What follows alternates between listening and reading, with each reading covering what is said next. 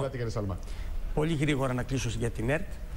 Ε, από ευγένεια, επειδή είμαι φιλοξενούμενος στην ΕΡΤ, ό,τι έγινε είναι παρελθόν. Οι πολίτες γνωρίζουν ποιοι δημοσιογράφοι, ποιες εκπομπές ε, λειτουργήσαν αντικειμενικά, στήριξαν την αντικειμενική ενημέρωση, έκαναν το καθήκον Τώρα τους. κάνετε διακρίσεις και διαχωρισμούς. Γιατί με διακόπτετε. Εντάξει, η άποψή Θα μου του κάνετε και λογοκρισία τα πω. Αυτά είναι στο παρελθόν. Ακούστε. Θέλω να σας πω λοιπόν... Εσείς κάνατε προηγουμένως. Συνεχίστε κύριε Σαλμά. Αυτό λοιπόν, αυτό δεν είναι ΕΡΤ, καταλάβατε. Αυτό τώρα που ζούμε, να σας το εξηγήσω. Ναι. Τοποθετούμε με έναν τρόπο που κρίνομαι και έχω μία δημοσιογράφο που είναι προσκεκλημένη που με διακόπτει. Εντάξει. Αυτό δεν είναι κρατική τηλεόραση. μπορούσε να είναι- Όχι, όχι, να σας- δεν είναι κρατική τηλεόραση. σας πω λίγο κάτι. Δεν είναι κρατη- Γιατί το κάνουμε κρατική αυτό τηλεόραση. Σας λέω λοιπόν, επειδή θέλετε, υπήρχαν εκπομπές στην ΕΡΤ που ήταν ό,τι χειρότερο έχει ζήσει η χώρα. Τελεία και παύλα. Και στο προσωπικό. παρελθόν μπορούσε κάποιος να πει για τις προηγούμενες διοικήσεις του ΕΡΤ. Είναι μια τέρμονη η συζήτηση. Μισό γι' λεπτάκι. αυτό- Εσείς γιατί ενοχληθήκατε τώρα με την κρίση μου πάλι; Όχι, να σας πω λίγο Εσείς, κάτι. μισό λεπτάκι. Εγώ Εσείς- προσωπικά. όχι, να τελειώσω. Εσείς κάνετε να μου πω ερώτηση. κάτι, να πω Γιατί κάνατε Θα επισήμανση. χάσουμε την όχι, όχι. ουσία. Να και σας πω μπαίνουμε λίγο σε μια κάτι. Σας διαδικασία. Προσέξτε, παρακαλώ γιατί λίγο είμαστε κάτι. στην ουσία τώρα. Σας παρακαλώ λίγο. Είμαστε Ακούστε στο- να δείτε. Ακούστε να Καταρχήν, δείτε. πιο ωραίο Η δουλειά του ύφος. δημοσιογράφου. Πάλι στην- Πιο Όχι, ωραίο όχι, ύφος. Ακούστε, ακούστε λίγο. Πιο ωραίο ύφος. Δεν σας επιτρέπω. ήρθατε και Και εσείς Δεν ηρωνεύετε. σας μας δεν επιτρέπω. μιλάμε. Τελειώσω. Δεν σας επιτρέπω να Είστε λίγο εκνευρίζεστε. καθοδηγητικός. Μισό, μπορώ να σας πω λίγο κάτι. Μας θέλω. ηρωνευτήκατε Όχι, δεν γιατί γίνεται. Δεν μας θέλω φέρνουμε στη υποδείξεις. συζήτηση, Ναι, ναι, γιατί κοιτάξτε, είμαστε θα στο Αυτό πάνελ. είναι η Εσείς ΕΡΤ μας κάνετε που δεν υποδείξεις. θέλουμε. Ναι, ναι. Ακριβώς. Σε Αυτό αυτή που την ζούμε ΕΡΤ τώρα. Είστε και Δύο μιλάτε. δημοσιογράφοι, ένας Ζωντανά, γιατί εκδικιών είναι μου και ένας ανοιχτή, εκ- κύριε Το Σαλμάιερ. βλέπετε. Είναι ανοιχτή. Οι Έλληνες Μα, κύριε πολίτες Σαλμά, σας παρακαλώ ζουν πολύ. αυτό που ήταν η ΕΡΤ και που δεν θα Τι είναι. μας δείχνετε, δεν- κύριε Δεν με αφήνετε Σαλμά. να Κύριε μιλήσω. Σαλμά, γιατί Κύριε ηρωνεύετε τα Σαλμά, χέρια κύριε σας, τι Νιφλή. μας δείχνετε. Όχι, όχι. Κύριε α- Νιφλή, ναι, θέλω- Ας μπούμε στην ουσία. Ακούστε. Θέλω να σας πω Γιατί ηρωνεύεστε. Ωραία, να ολοκληρώσω κύριο Σα- Θέλω Σαλμά. να σας πω. Θέλω, καταρχήν τη βλέπω πολύ εκνευρισμένος είστε. Ε, βέβαια, γιατί μας κάνετε υποδείξεις και Δεν νομίζετε σας ότι ο κάνω ρόλος των υποδείξεις. δημοσιογράφων είναι μόνο να ρωτάνε. Ο ρόλος των δημοσιογράφων όταν ακούγεται μια ανακρίβεια είναι να σας τη πω. διορθώνουν. Να σας απαντήσω. Όταν Μπορείτε εσείς για ένα λέτε, δευτερόλεπτο να μην.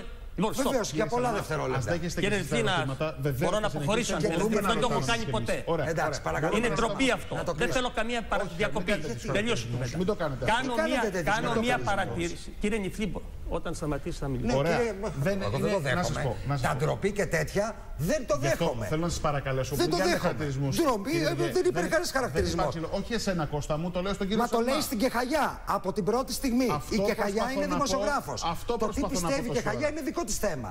Και το τι γνώμη έχετε εσείς για την Κεχαγιά είναι δικό σας θέμα. Αυτό προσπαθώ να πω Το να τόση κάνετε ώρα. υποδείξεις και να λέτε μη με διακόπτετε, Και μη τι με ρωτάτε. εισέφερε στη μη συζήτηση με- και γιατί Γι' υπάρχει αυτό δεν εδώ. είναι έτσι. Μπορούμε Ναι. να κάνουμε διάλογο Ωραία, και το να ακουστούν οι τελειώσαμε. απόψεις. Κύριε Σαλμά, εγώ δεν πρόκειται να σας ξαναδιακόψω. Ε, ε, ολοκληρώστε, κύριε Σαλμά, τις απόψεις σας. Μπορούμε να σας θέτουμε και εμείς τα ερωτήματα, ακούγοντας πάντα και την άποψή σας. Θα σα ακούμε, είναι ο χρόνος δικός σας. Είπα ότι υπήρχαν εκπομπές στην ΕΡΤ που ήταν ό,τι χειρότερο έχει Ωραία. ζήσει η χώρα και η ελληνική τηλεόραση. Ωραία. Μάλιστα. Σε αυτό είναι προσωπική μου άποψη και δεν θέλω σε αυτό να μου, να, να μου πει κανείς ότι υπάρχει και κάτι άλλο που ήταν στο παρελθόν. Μάλιστα. Να το πει ο κόσμος αυτό. Ωραία. Μόνο κάποιος που έχει λόγο να το πει το λέει. Άρα λοιπόν ηρεμήστε. Η ελληνική Κανένα τηλεόραση, λόγο δεν έχω. η ελληνική τηλεόραση θα πάρει το δρόμο της, θα γίνει ένα κανάλι πολύ διαφορετικό από αυτό που ξέραμε, που θα υπηρετεί την πραγματική αντικειμενική ενημέρωση και οι πολίτες θα την βλέπουν Μάλιστα. για να έχει και υψηλά ποσοστά τηλεθέασης. Η δική μα εκπομπής πάντως έχει ψηλά ποσοστά τηλεθέσει. Θέλω να σα ενημερώσω. για το Είπα ξέρω. μερικές εκπομπές έχουν το ακροατήριό τους, αλλά θα έχει την θέση που τη αξίζει στην ενημέρωση. Αυτό είναι η πρώτη παρατήρηση για Μπορώ την να ρωτήσω κάτι τον κύριο όχι, Σαλμά, όχι, κύριε επειδή Τριανταφυλλίδη. είμαι Να ολοκληρώσει και δεν πάροχος έχουμε χρόνο. Ο ιαπών. κύριο Σαλμά τώρα θα σα Κύριε, ρωτήσει. όχι, κύριε Σαλμά, Τριανταφυλλίδη, δεν σα θέλεις να του διάκοψα. θέσω δεν ένα σας- ερώτημα. Κύριε Τριανταφυλλίδη, σα παρακαλώ πολύ. Δεν σας Μας διάκοψα, δεν διακόψω, σας- Μάριε. όχι, δεν σας Θέλω ένα επιτρέπω. ερώτημα να σου Δεν Όχι, σας όχι. επιτρέπω. Σας παρακαλώ, κύριε Αν έχετε Τριανταφυλλίδη, σας τόσο παρακαλώ αγωνία πολύ. να πάρετε φορές. τηλεοπτικό Δεν σας χρόνο, επιτρέπω. Κύριε σας Σαλμά, λέω συνεχίστε, σας ότι παρακαλώ. κάποιος μπορεί να εκτεθεί. Μα οι από- εκλογέ τελειώσανε. Οι Κύριε εκλογές Σαλμά, τελειώσανε. Κύριε Κάντε Τριανταφυλλίδη, κουβέντα. σας παρακαλώ πολύ. Κύριε Σαλμά, συνεχίστε. Κάποιος Παρακαλώ. παρακαλώ. όσο περισσότερο χρόνο έχει κάποιος, δεν σημαίνει ότι κερδίζει.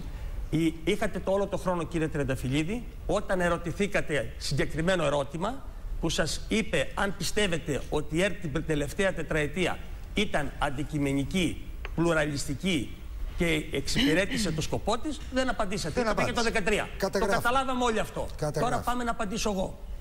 Λοιπόν, τελειώσαμε με την ΕΡΤ γιατί δεν είναι η ΕΡΤ το μεγάλο ζητούμενο. Ακριβώς. Α φιλοξενούμαστε σήμερα στην ΕΡΤ. Ναι. Το μεγάλο ζητούμενο είναι γρήγορα να επανεκκινήσει η οικονομία. Η ελληνική οικονομία δεν θέλει διαχείριση. Θέλει ένα δημιουργικό σοκ για να μπορέσει να πετύχει μεγαλύτερους ρυθμούς ανάπτυξης. Με ρυθμούς ανάπτυξης 1,5, 1,7, 2,1 δεν φτιάχνει. Δεν μπορεί να φτιάξει αυτό το μεγάλο πρόβλημα που έχει η χώρα. Πρέπει λοιπόν να δούμε στο πρώτο εξάμεινο θα φανεί αυτό πώς θα ανταποκριθεί η αγορά, αν θα έρθουν επενδύσεις, αν θα σταματήσουν οι επιχειρήσεις να πηγαίνουν την έδρα τους στη Βουλγαρία και αυτό θα επιτευχθεί με την αλλαγή του φορολογικού νόμου που όλη η αγορά το ήθελε. Γι' αυτό μας ψήφισε ο κόσμος. Δεν πρέπει να μην διαβάζουμε γιατί μας ψήφισαν οι πολίτες. Είδατε, απέφυγα να πω εγώ αν καταψηφίστηκε ο ΣΥΡΙΖΑ ή τα ψέματα, ο λογισμός. Αυτά είναι στο παρελθόν. Τώρα είμαστε μια επόμενη μέρα. Η επόμενη μέρα είναι να καταλάβουν αυτοί οι απογοητευμένοι άνθρωποι, ακόμα και το 42% που δεν πήγε να ψηφίσει, ότι εδώ σε αυτή την πατρίδα κάτι αλλάζει. Κοιτάξαμε, η αλήθεια είναι, τους πολίτες ξανά τα τελευταία 6 χρόνια, για να μην, γιατί υπέστησαν μεγάλες απώλειες στα εισοδήματά τους. Αλλά δεν πρέπει να ξεχνούμε ότι έχεις μια Τουρκία που είναι προκλητική, που προχωράει σε γεωτρήσεις.